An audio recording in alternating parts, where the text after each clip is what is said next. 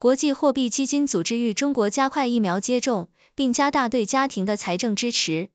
国际货币基金组织 IMF 呼吁中国加快疫苗接种计划，并警告称，新接种量的急剧放缓可能会破坏经济中消费支出的复苏。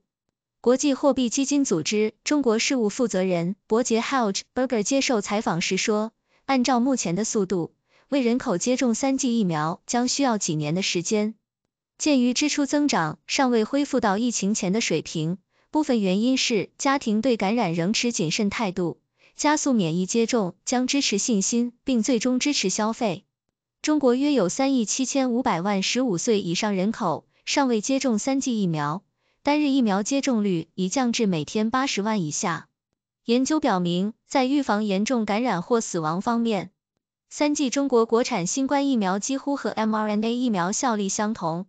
中国人口，特别是老年人的全程接种率较低，这是中国坚持严格清零政策的原因之一。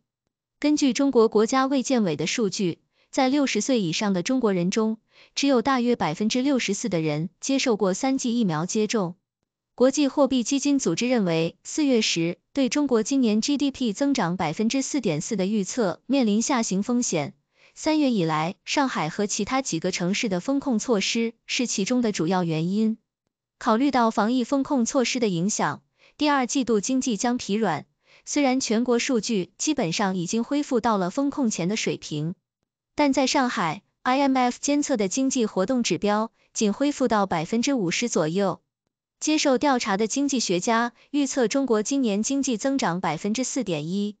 四月至六月 GDP 环比可能萎缩，这使得政府不太可能实现百分之五点五左右的全年目标。国际货币基金组织一直呼吁中国加大对家庭的财政支持，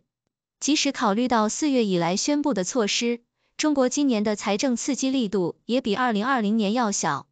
他说，相对于二零二零年。今年已知的财政措施仍然较小，即使考虑到2020年的整体冲击大于今年的情况。